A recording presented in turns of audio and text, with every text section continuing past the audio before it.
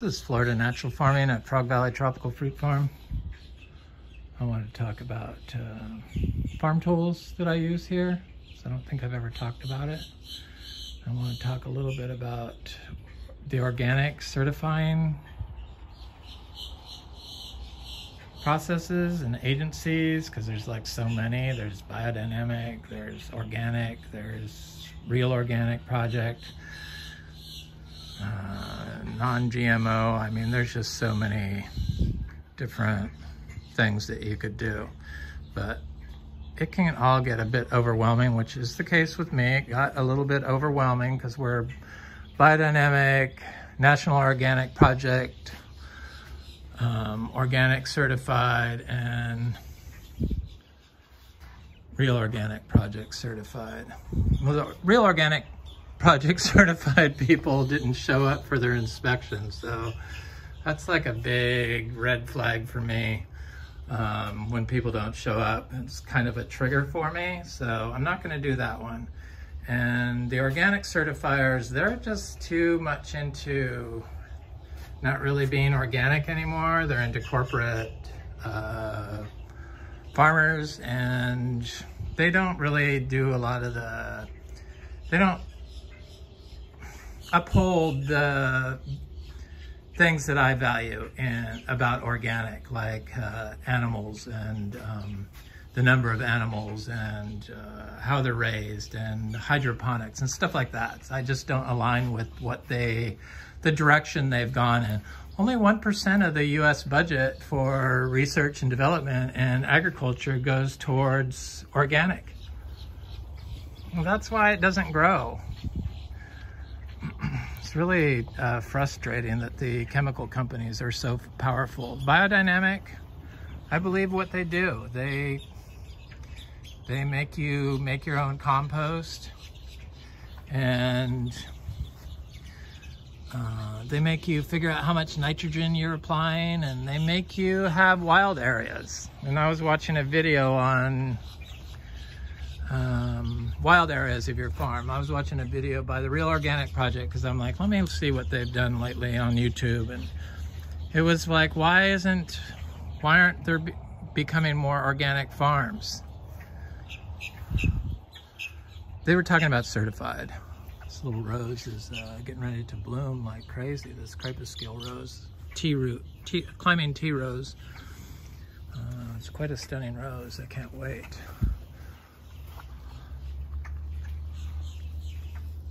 So they wanted to know why so many farms didn't growing in this um, this tea rose is growing in this uh, variegated cassava. It looks stunning. I love it. Um, so many organic farms, or why aren't more people doing organic farms? Because you don't don't show up for your certification. You make the appointments, and then you don't show up. That's why I'm not doing one of them. And then the organic one, it's just, they don't align. So I got tools that I use. I use different tools. These are about all of the tools I use. So I use this electric chainsaw, um, battery operated, and I use olive oil, organic olive oil, instead of motor oil. And I use the organic olive oil for this wooden bowl that I use to collect fruit. I collect fruit in wooden bowls and I clean it with organic olive oil and organic lemon juice. My dad was a Norwegian Marine uh, fine woodworker, so he taught me how to take care of wood. I clean my blade of my machete with olive oil. I use this shovel with a wooden handle uh, so it doesn't bend as easily. And I used to use this a lot, but it was good when I was younger, but being uh, 60 now, I get tired in the heat of the day. So I got this little handheld chainsaw and I wasn't sure about it. Um, from Amazon, it was cheap and it came with two batteries. It says to, if it stops charging if it's the time it takes to between charges is shorter and shorter than to uh, stop using. So um, you got to be careful where you put your hands with this. That's one thing. But I've always used chainsaws, so it works. And I didn't get tired, which is a big thing. So just one hand and you just do that. Cut the stuff. It's nice. I like it. I approve. So we grow everything, all our house plants and stuff, and every, everything in pots is grown in our biodynamic compost that we make. This is that uh, tree kale, tree collards, I guess. And all these house plants, biodynamic compost. So I was watching this video and they're talking about their, you know, their their farm system, they had like a, a bunch of farms in California and they grow annuals. And then they talk about letting nature into their system, but they think that nature is uh, doing a cover crop. That's not nature. It's not soil health, I don't think it's not really about the soil health, it's about the health of the water and the air. And the only way to get the clean water is with the trees. So clean water and air comes from the trees. Yeah, your thousand acre of annuals is great, but that's not natural farming. That should be two thirds of an acre of wild space dedicated to undisturbed spaces. And I talk about soil health, it's really about, are you growing fungi in your soil? Because if you're not, you probably, your soil health probably sucks.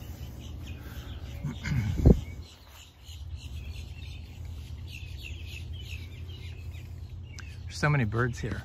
They came when we stopped. I come through here, but I take the same, this is a path, a foot, it's like a deer path that I take and everything else is left wild. And that's why there's so many different weeds and trees that grow in it. We, yeah, we, we, we do like syntropic farming, but we don't have to, we don't have to plant the trees here in Florida at this farm. They come up, they show up by their own, by themselves.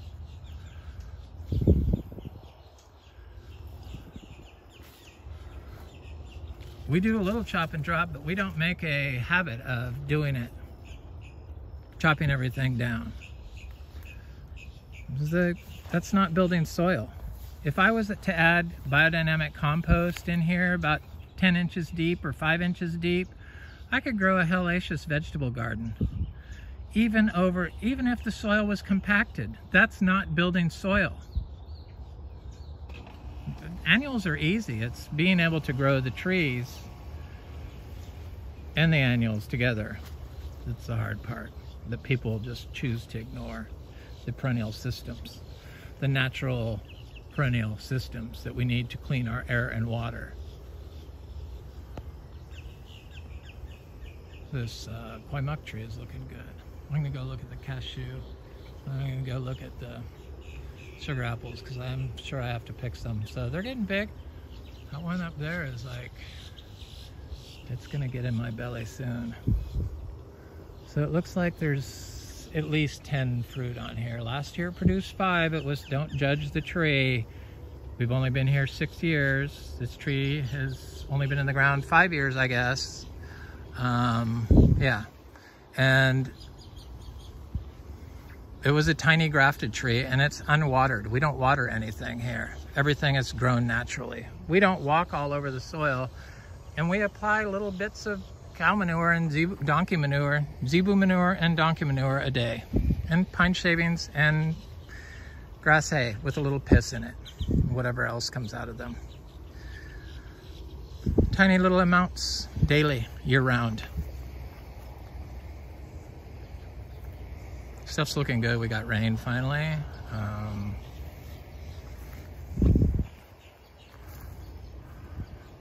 I'll show you where I'm putting my vegetable garden this year. I grow vegetables. Not, not that into it. Uh, I like the fruit trees and I like the, you know, some vegetables. I like greens.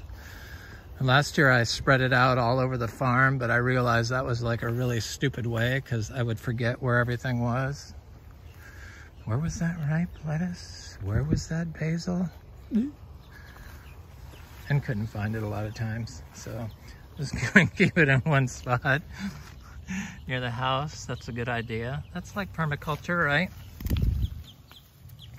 I believe in most everything they do in permaculture. I just don't believe in driving on the soil and I don't believe in only having a um, control. So you have to like let some areas go wild. I don't believe in that aspect of it. Two thirds of the property. Our entire orchard floor is wild. 99% of the time. Just go in it to pick fruit or to plant. That's it. I take a path. These are all paths. Paths that could be mowed like the other paths. So this is where I'm going to do the vegetable garden. There's some asparagus here that, you know, I started from seed years ago. I've had vegetables here for a while. This asparagus is looking good. There's quite a bit of it. And um, it is. It does good. You can't cut the top of it. Um, you can take some, but if you chop the whole thing down, it'll die here. So you can only take a little bit.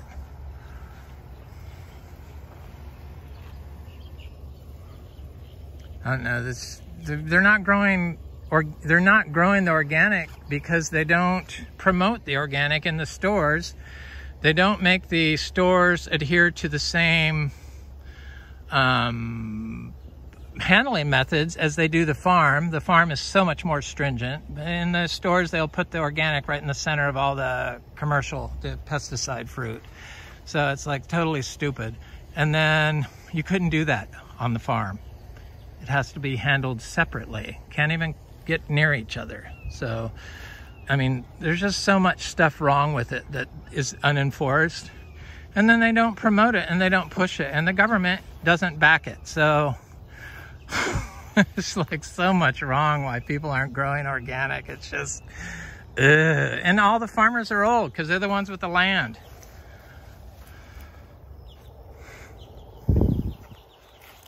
I mean, I appreciate people growing food, but let's get real about what regenerative is.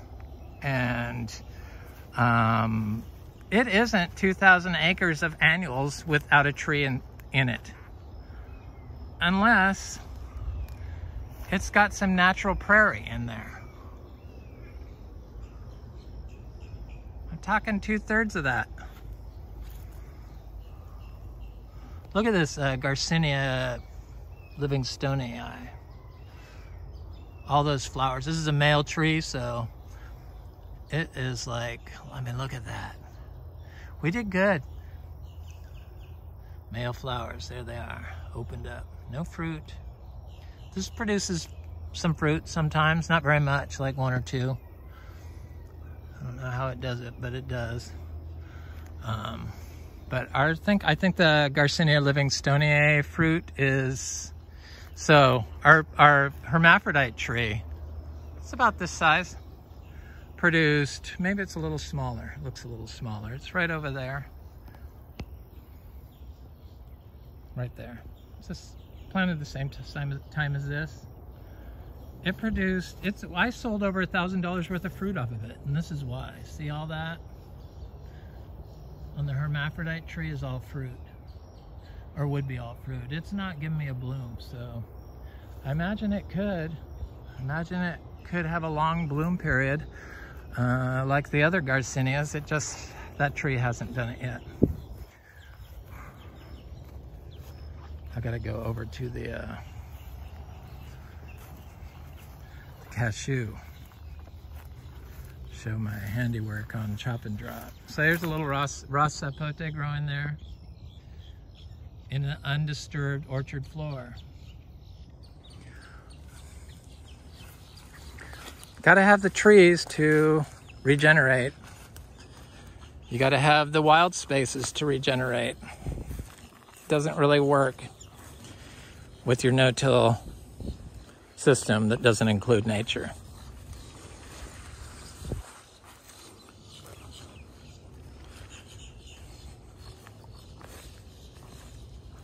So all these trees I look at, I, I, I look at dollar value because that one imbe tree was a thousand dollars worth of fruit.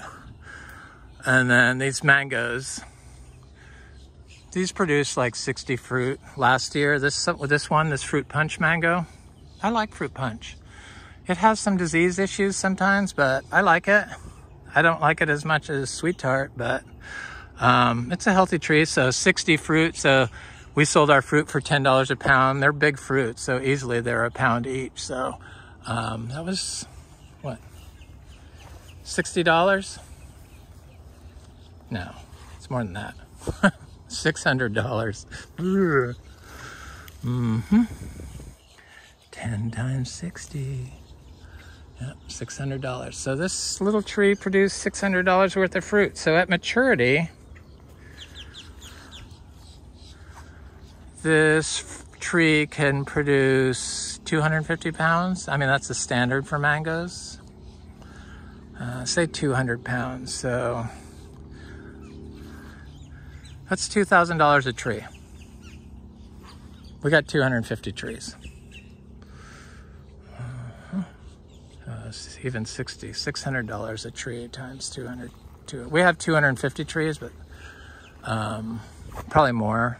I have a bunch of seedlings, but I haven't been able to add them up. That's coconut cream. This is sugarloaf.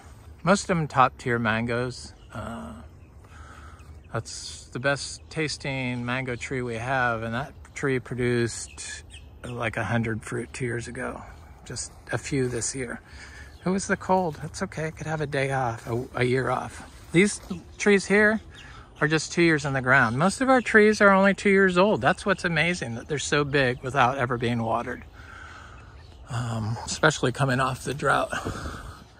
And I expect this one to blue, uh, bud out, you know, flush out. So I hacked at this pepper tree. Uh, pepper, pepper trees grow really well because they always show up in the areas that you don't ever visit. Uh, that's kind of the logic behind our system. Stick it where the pepper tree grows. So they grow where you don't micromanage the, the space, where you're not compacting the soil. So I chopped that back. It's on that little old watershed. This is a old well old flow well that was capped. Uh, when you see ponds that are full, it's because old uh, farm wells were uh, put in to the aquifer, artesian farm wells, and they uh, rust off where there's salt intrusion on the way down to the fresh water, and then they uh, excrete salt into the the pond. But this one was capped, thank God. And Here's our well house here. Yeah, I don't really, you know, not really rushing to sell this. I have to find the right person to buy it. It needs to be a family. The whole problem with the the farm is that it's just me. My partner, I don't think he's ever picked any fruit or anything. Maybe he's picked a mango for me, but he doesn't know where the fruit's at.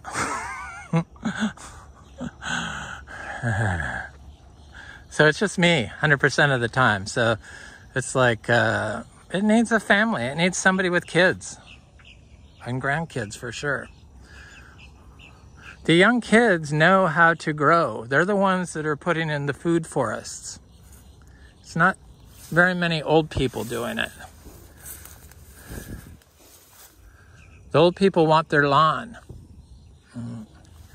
This is that grass. This this is like an aggressive grass, but because of the drought, it like had a lot of die off in it.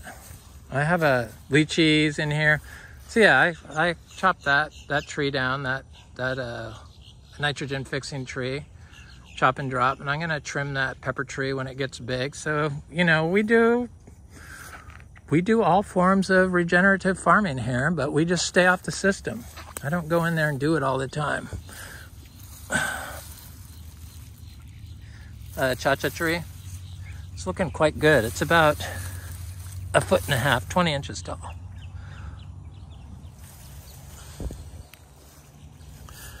And that's full sun. Yeah, it gets protection from the grass, but we had a horrible drought. So I normally would not, I normally would pull these pepper trees out, but this was always in the pond or like right at the edge and it was full of water moccasins. Uh, I think they've since left, but I mean, way up there, that's how low it is. It's down five feet. That's a little tiny bit of water left, or in it now. It was dry. It dried completely up in the middle of summer. So I guess it's possible here, but it didn't affect our trees. But so I have these pepper trees here. So I like to pull stuff out like this. Pull it out, even though it's probably better to leave them.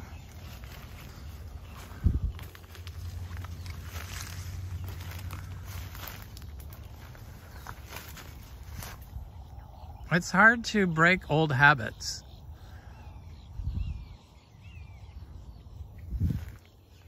It was really hard for me to uh,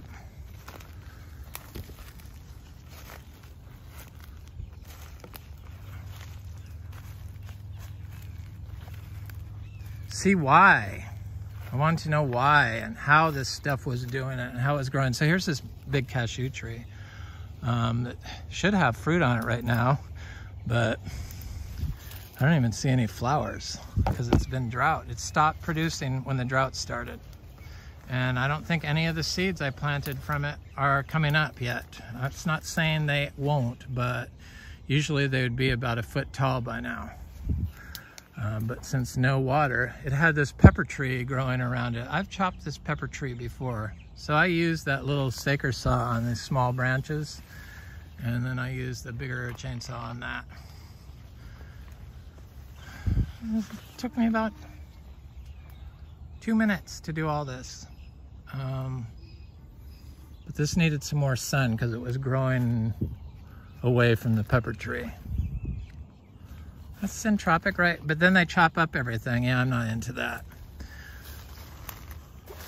Standing over the, standing all over the soil and chopping up while you're doing it, placing it, that's just soil disturbance when it's on sand.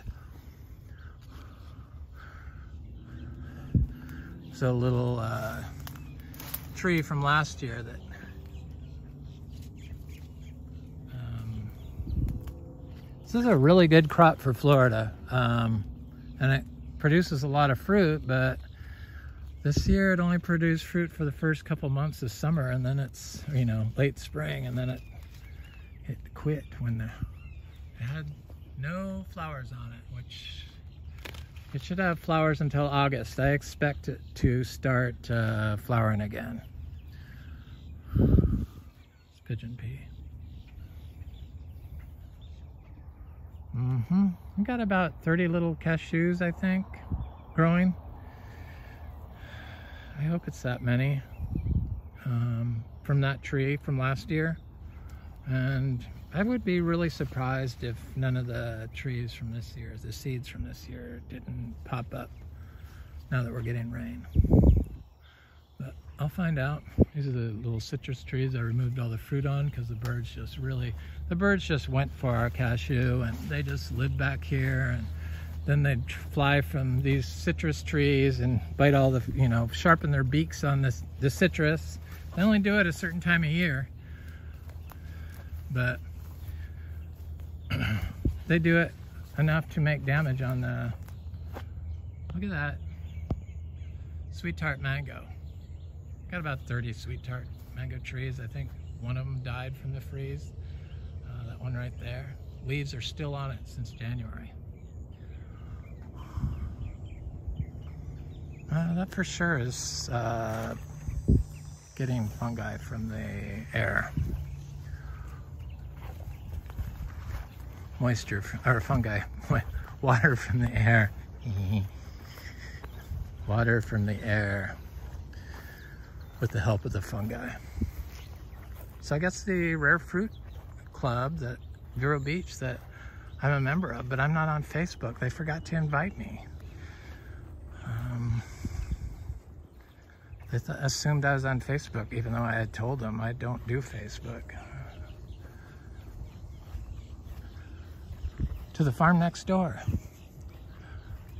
They've been good neighbors, but much better than the other ones. They're just normal. The other guy wasn't normal. I mean, he clear cut the whole lot and then burnt all the trees and couldn't understand why I had a problem with, with, you know, him doing that, burning for months on end, giant trees. Oh, and shooting all the, trapping and shooting all the possums and raccoons.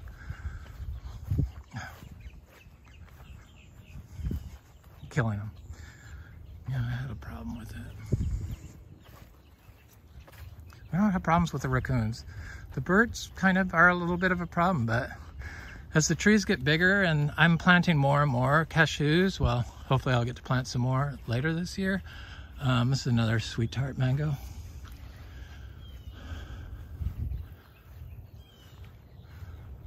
As long as, you know, more and more trees, less and less chance they will be able to eat everything.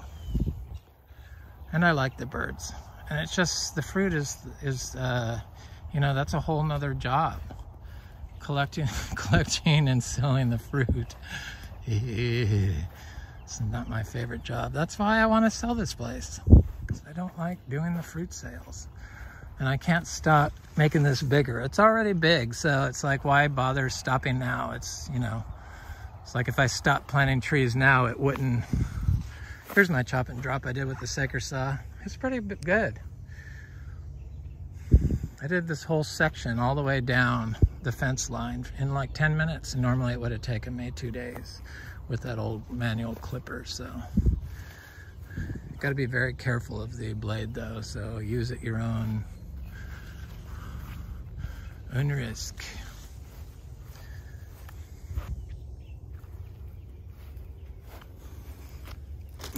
And I noticed if I take the battery out while I'm walking, I won't because if you're carrying it in your hand, it's easy to just pull the trigger inadvertently. So I take the battery out and put it in my back pocket. And the battery lasts a long time. In fact, I did all that um, chopping without recharge, getting the second battery. So I was happy with it.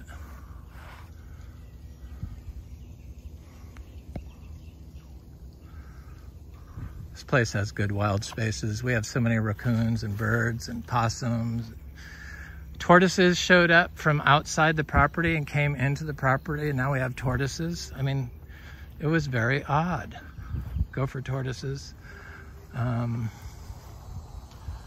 turtles. I don't know where the turtles went that were in that pond. I think maybe under the mud. I don't know. There's a big ass achacha tree here. She's gonna fruit. It's definitely getting big, big enough. A little bit bigger. Probably if we'd gotten a lot of rain this summer, it would have been big enough. But it's heading here now. Here's our cashews. So the achacha tree at $37 a pound and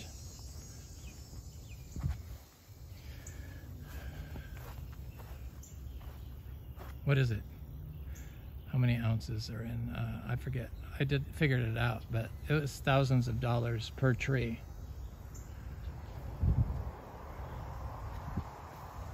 But they take 10 years to fruit, but ours are well on their way to being 10 years old, those bigger ones, and we have fruiting achacha now, so um,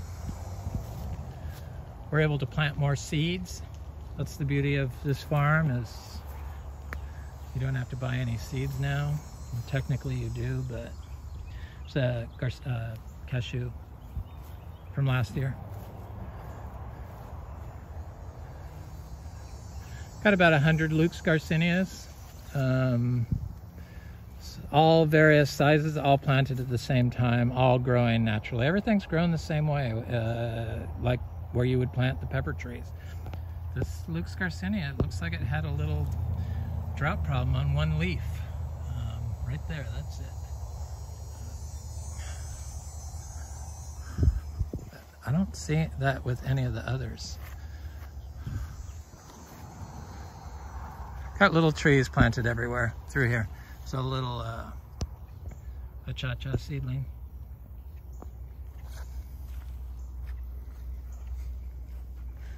Okay, there's a Monstera deliciosa. The cuttings take a while. They are not very fast.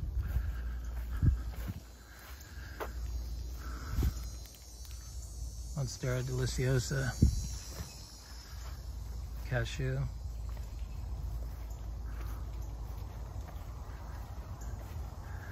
Cashew. What was I looking for? Oh, I was looking for that philodendron erubescens. Right here. I think it's this, is like the pink lady or pink princess. This was a cutting I did in the winter. That's why I know the cuttings in the winter. I did the, the Monstera cuttings in the winter. I did two different philodendrons in the winter and some other aroids and they all survived the drought. You know, nothing is watered. That thing looks good. It growed.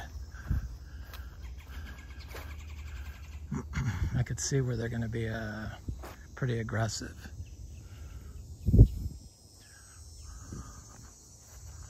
Twenty years down the road.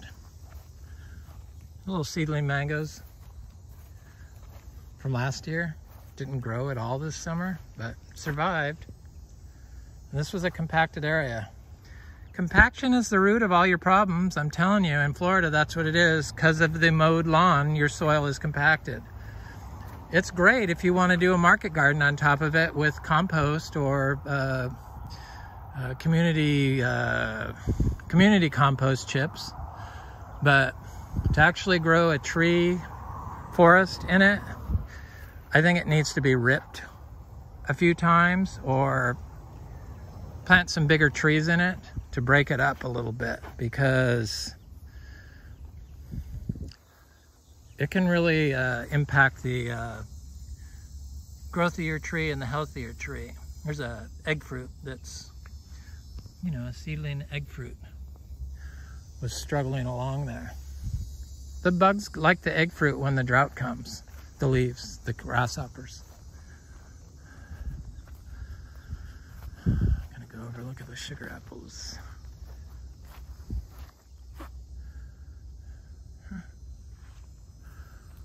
Stuff is looking good.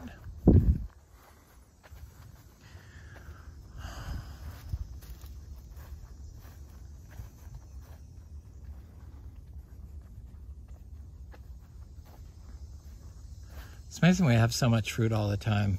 It really is um, there's so many trees here though, I guess is why. People get stuck only planting one species, like a whole forest of mangoes or a whole forest of jaboticabas. But that's not what we did. We tried to plant a whole forest of everything all mixed together. Um, it's a custard apple Annona reticulata. This is all dry farm stuff too. It's a uh, Inga cinnamomea. Seed grown, seed grown stuff. It's a mango, not seed grown, a grafted tree. So pigeon peas.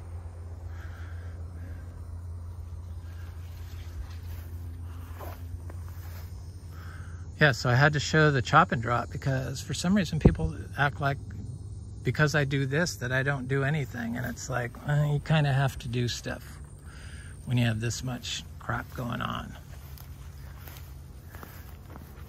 I don't know what that was I stepped on, but it...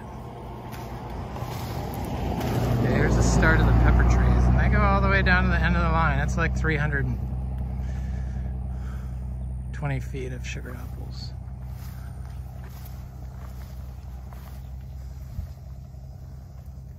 Well, they look good.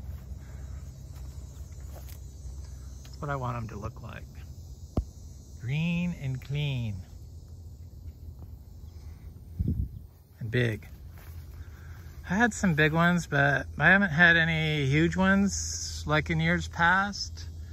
I think that was just a fluke, random big fruit that I got excited about and and tried to hold the uh, the uh, the smaller fruit at the same. Like I expected it all to be huge like that, that, but they're just so random. They're just not consistent. The sugar apples, and the little ones are really good. Not all little sugar apples are seedy. Ours are not seedy. Um, they're nice and chewy and good. It's uh, Atemoya. Oh no, this is the purple chewy sugar apple that I forgot I planted and didn't realize because I don't mark anything. I plant and then I walk away. So I bought six seeds of the chewy purple sugar apple seeds. You know, the Isan, Pisan, or whatever it is. Um, but it's a purple chewy sugar apple and two of them germinated and I planted them both out and this one I thought was an Atemoya but it turned out it was a, a chewy purple sugar apple. It was very good. Produced fruit. I got seeds from it. The seeds are very small on that that um, tree. Very small. Had a lot of seeds. Now that I think about it. I'm gonna grow those seeds out and plant them. I'm gonna plant a bunch more sugar apples. I mean, cause look, I mean, they do so well and $10 a pound, it's like two for, two for a pound for sure. And so most of them have, I don't know, they say 10 to 20, but these have a long, they keep blooming for a long period. Even when there's ripe fruit, they can, they're still blooming. And um, sometimes. Um, so I would say 20, 20 fruits, probably average. I know it's probably a little bit more than that. I, I need to look at my records to really figure it out. I know I've sold more than a thousand dollars worth of fruit. So, so 20, so that's a 10, 10 pounds per fruit at $10 a pound. So that's a hundred dollars per tree per year. I'm okay with a hundred dollars per tree. Uh, and then if you sell the seeds, it, you know, it's exponentially uh, higher number than that. But for fresh fruit, $10, I probably could have sold the fruit for more than $10 a pound. It's biodynamic certified fruit. We're biodynamic certified farm. We're going to stay biodynamic certified because I think it's important to have a level of comfort with the public when they're buying fruit. And it keeps me honest. Um, keeps makes me keep records because that's the difference between this and other farms is I've kept records daily notes since the day we started so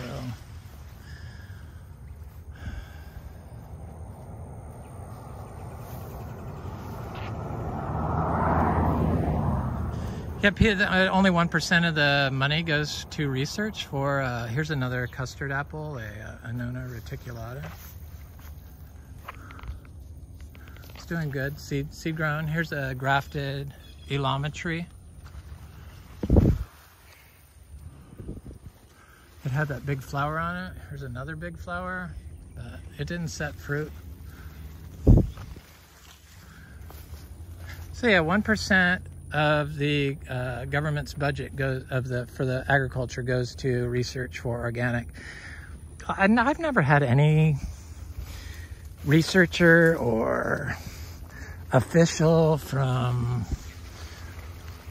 any of the local colleges or um, schools or anything ever reach out to me here. In fact, we did have an appointment with the uh, county government or with the ag extension or whatever, and they stood us up. Seems to be a theme. Uh, Ilama, seed-grown Ilama. I'm supposed to be looking at the sugar apples, but I saw that they didn't look quite ready today.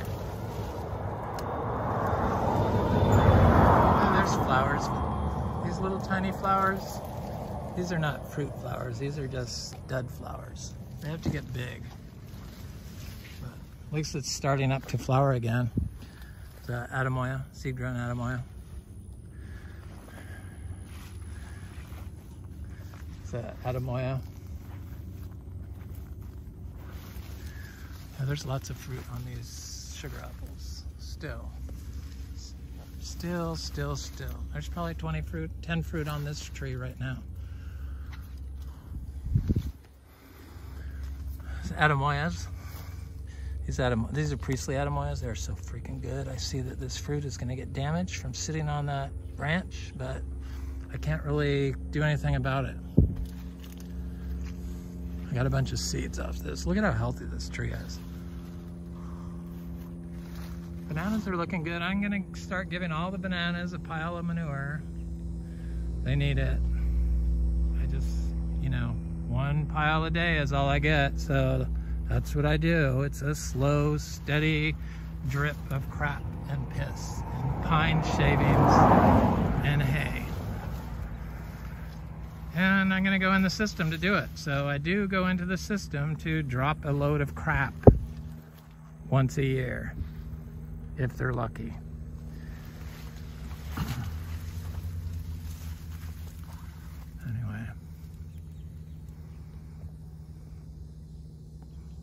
They're looking good. We got sugar apples. So if you want sugar apples, well, I guess we don't have any right now, but if you want them, get in touch with me because we're gonna have them for a while. Um, this is Eric at Florida Natural Farming, Frog Valley Tropical Fruit Farm. I hope you have a beautiful day.